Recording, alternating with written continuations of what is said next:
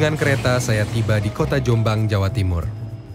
Di sini seorang pemikir besar lahir pada 17 Maret 1939. Saya mengenalnya sebagai salah satu tokoh penting dalam sejarah Indonesia modern.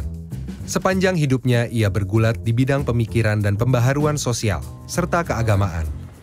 Ia meyakini pendidikan adalah solusi dari tantangan masyarakat modern Indonesia.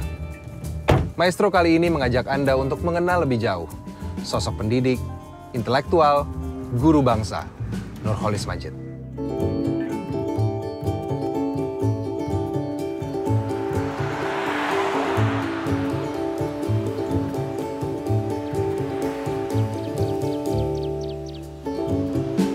Nurholis Majid lahir dari pasangan Haji Abdul Majid dan Fatonah. Ayahnya adalah pendiri sekaligus guru di Madrasah Al-Wataniyah di Mojoanyar, Jombang.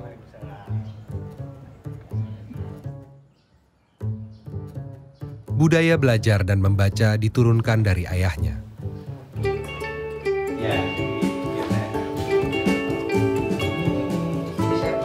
Pada ayah yang dicintainya, Nurholis Majid bertukar surat dalam bahasa Arab.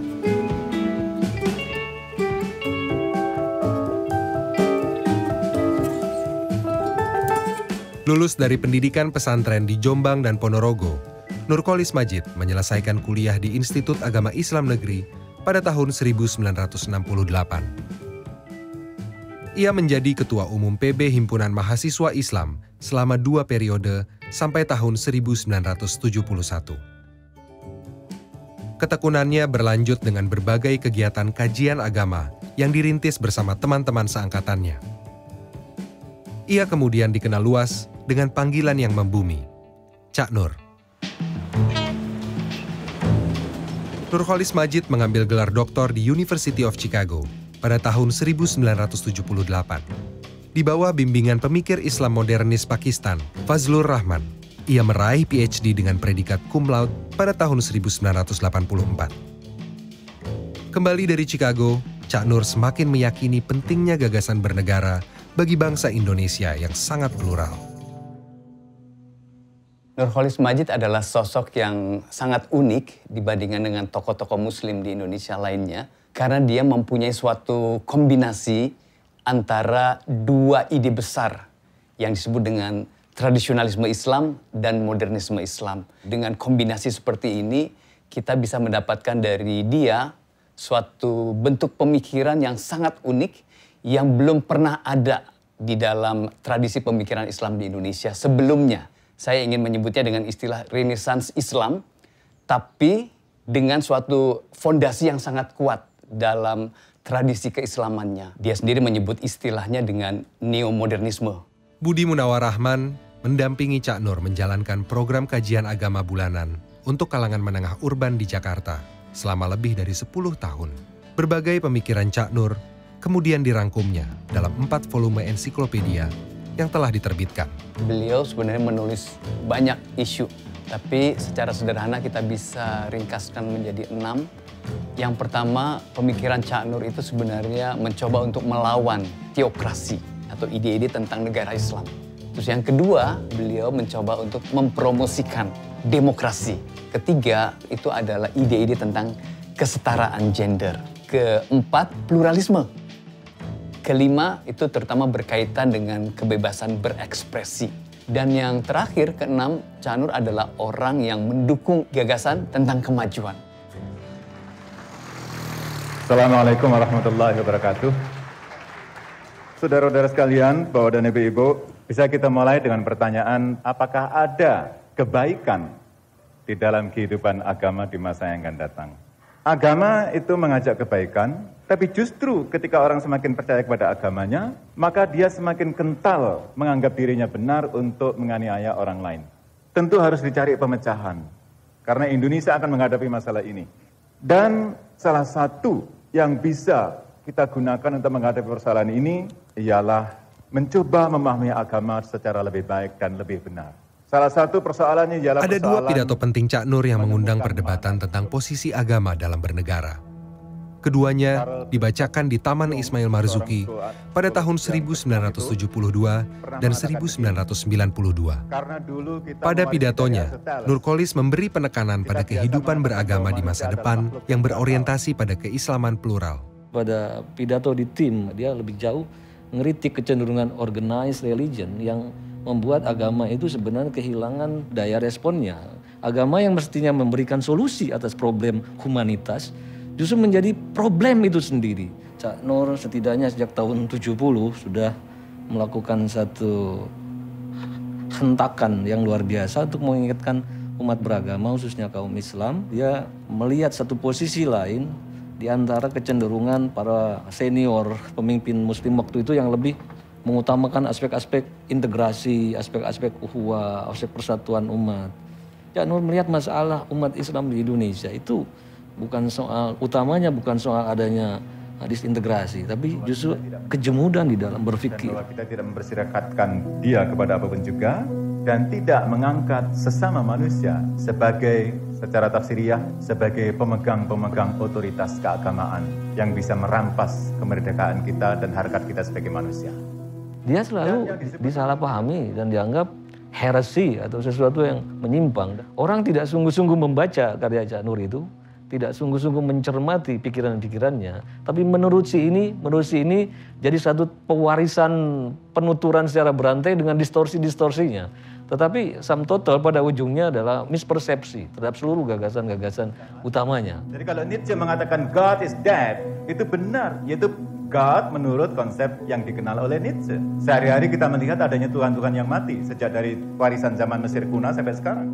Tapi seorang pemikir garda depan itu memang tidak selalu harus mengkompromikan pikiran-pikiran uh, visionernya itu dengan realitas yang ada. Biarkan ide-ide liar itu berkembang untuk meskipun ada respon-respon negatif, tapi lama-lama orang akan belajar dengan sesuatu yang baru.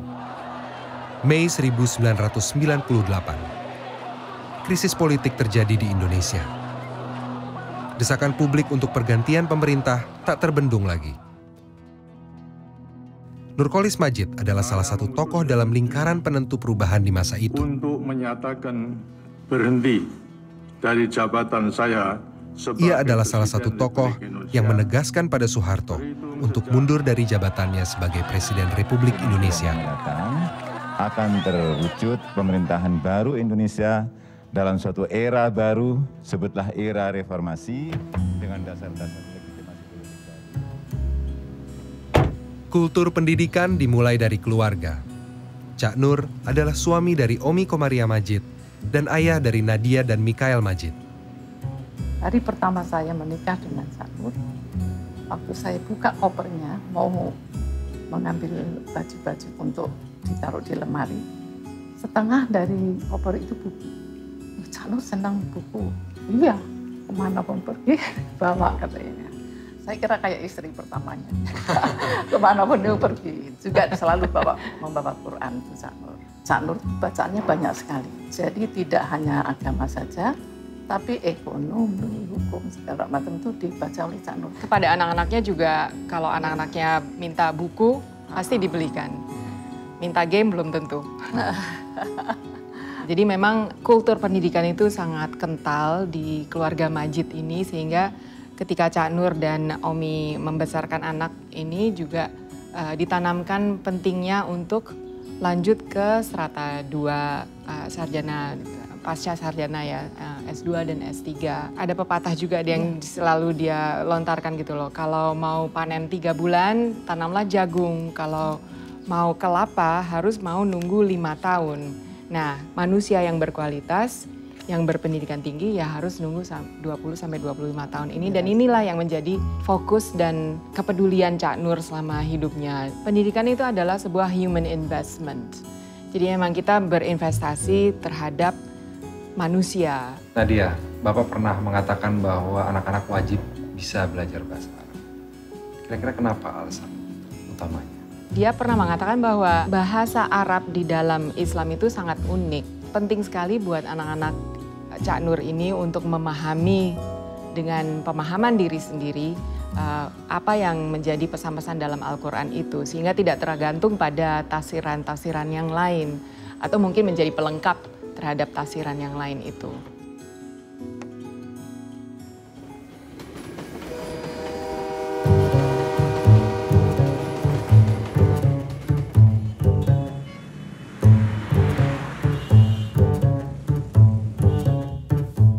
Ia adalah guru bagi banyak tokoh dalam dunia pendidikan dan kebudayaan.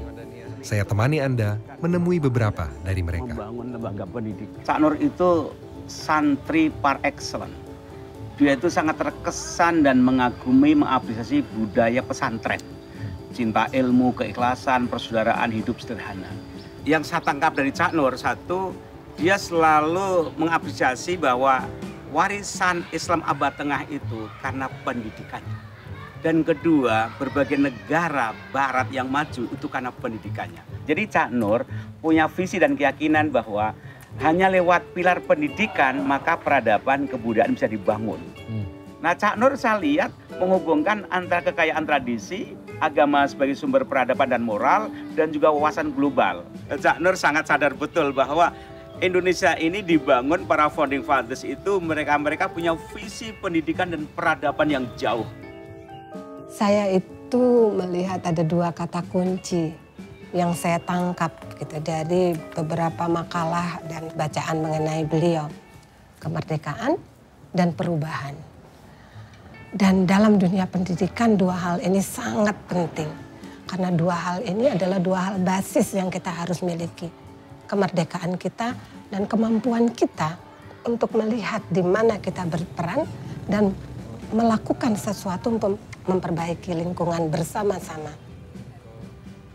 Kebetulan kita sama-sama concern terhadap kondisi pendidikan bukan hanya di Indonesia, sebetulnya di seluruh dunia. Pendidikan ini lebih menekankan kepada academic excellence dia. Sano dengan saya melihat bahwa academic excellence itu bukan sesuatu yang salah.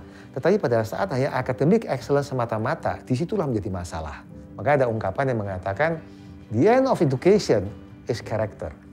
The end of education is character. Jadi kalau kita terus lulus sekolah, kemudian karakter kita tidak berubah menjadi lebih baik, atau bahkan menjadi semakin tidak karuan-karuan, ada something wrong. Gitu. Itu yang kemudian saya dengan Sanur sepakat, ah kalau gitu kita perlu membangun sebuah sekolah yang memperhatikan dua aspek dari mata uang yang sama ini. The two side of the same, same coin ini harus di harus di uh, address dua-duanya secara seimbang.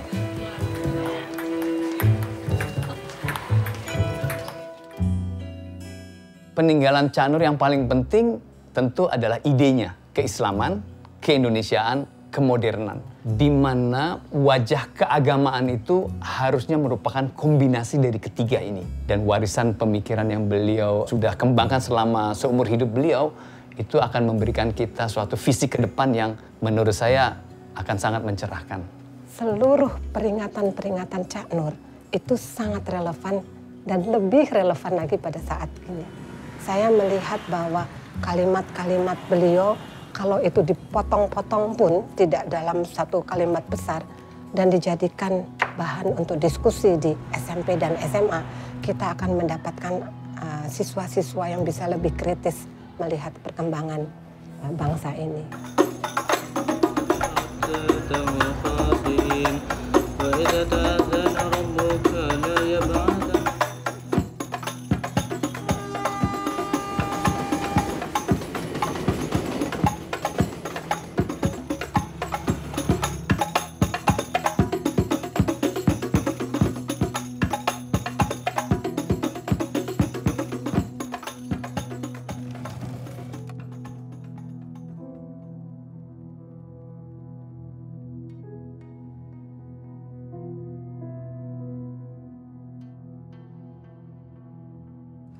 Pernah dengar Cak Nur nggak? Cak Nur Polis Polis Tahu nggak pernah sekolah di sini beliau? Iya. Tahu.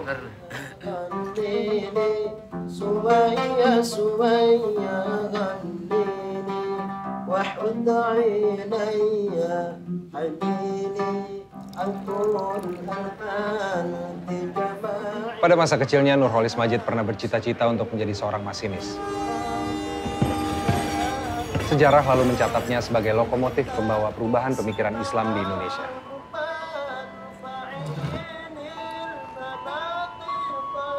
Anda baru saja menyaksikan Maestro Indonesia bersama saya Nikola Saputra. saya